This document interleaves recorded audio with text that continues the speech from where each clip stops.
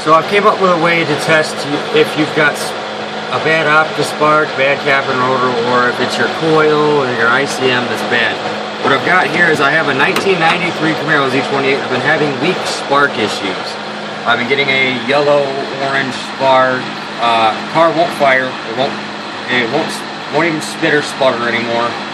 Uh, before this problem I was having, uh, it would start, run, backfire out of the intake, uh, had no power, you couldn't rev it, or else it would backfire through the intake.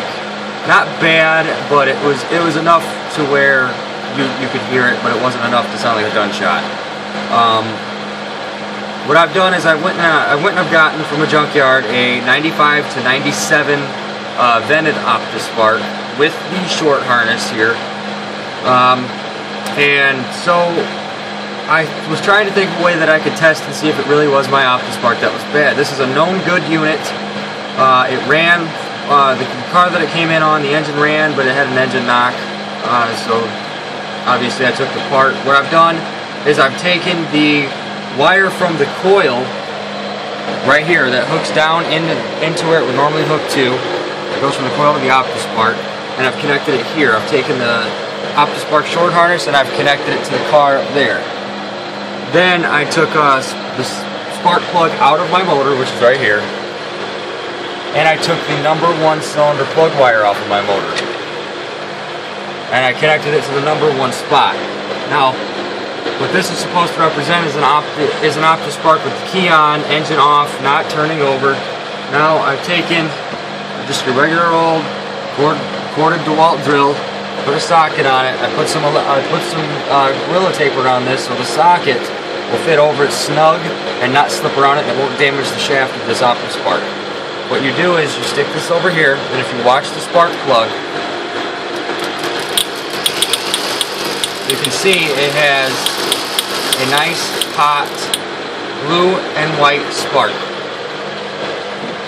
is a way you can test the OptiSpark 2 without having to actually tear your entire engine apart. If you look, my water pump is still intact. All everything is to where if this was a good car, if this was a good OptiSpark, I could connect, I could connect everything back up, hit the key, and it would run.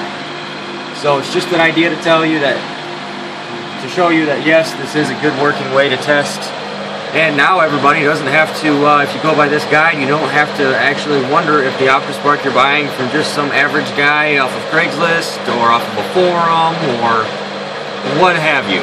You can test it now. In, if you meet up with a person, you can test it now, or you can tell somebody how to test it if they have the means, if they have an LT1 sitting at home. Uh, I will revise this and try and figure out a way to test them without having a uh, an L, you, without you having to have an LT1 vehicle, but I figured I'd just share this and try and get, you know, some of you out there that's having this problem a little bit of help.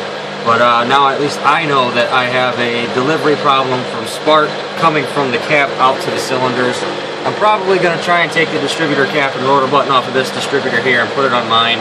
And yes, the vented OptiSpark cap will work with the non-vented OptiSpark as long as there's a little plastic separator piece in here. You have to have the non-vented separator piece to put the distributor cap from the vented OptiSpark on here. Uh, other than that, that's really all you need. I'll probably keep this unit as a backup, uh, and if I run into any more problems, I'll just buy a timing cover and timing gear and, from a 95-97 car and swap it over. But uh, as far as that goes, that's that, that concludes this, so thanks.